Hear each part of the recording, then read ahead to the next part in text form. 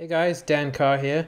Today we're going to be doing a quick Adobe Lightroom tutorial and we're going to be addressing a huge workflow issue that has plagued me and my use of Lightroom for the last few years and I've just discovered the solution to it. I'm demonstrating in Adobe Lightroom 3 at the moment. I do also have Lightroom 4 down here but uh, I'm going to be using 3 because I know a lot of people still haven't upgraded to 4 so I want to show that it's also possible in 3. And the feature that we're talking about here is uh, importing multiple memory cards simultaneously.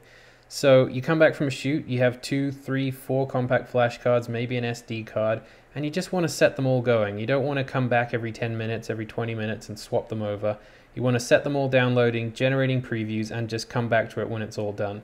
Now, this is something that you can do in Photo Mechanic. A lot of uh, photojournalists and sports photographers use Photo Mechanic, and that's one of the reasons that, that I've used Photo Mechanic in the last year uh, is to is to accomplish this. Um, you know, when you come back from uh, shooting a sports event, you often have thousands and thousands of photos on multiple cards, and it's just nice to set them all going and come back to it when it's done.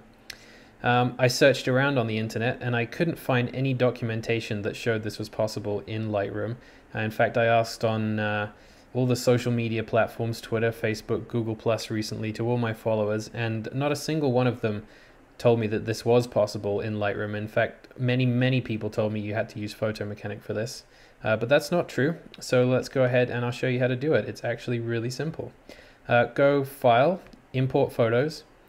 The regular import dialog comes up and we see we have three devices here, um, all with the same name. They're all from a Canon camera, so um, they all come with this default name. I've got two card readers plugged in, a SanDisk compact flash card reader, and a Lexar SD and compact flash card reader. All three of them, all three of the slots have a card in them. We're going to ignore this section here that says source though. I'm going to come down here where we see them all listed in the folder structure. Click this arrow down here, and we're going to go ahead and click the first folder that says DCIM.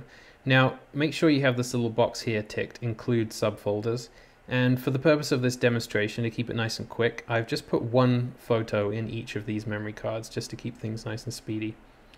So as you'll see, if you were if you were to drill down further in the folder structure, this photo is actually buried in this folder here. But with this uh, include subfolders box checked, we don't need to go that far.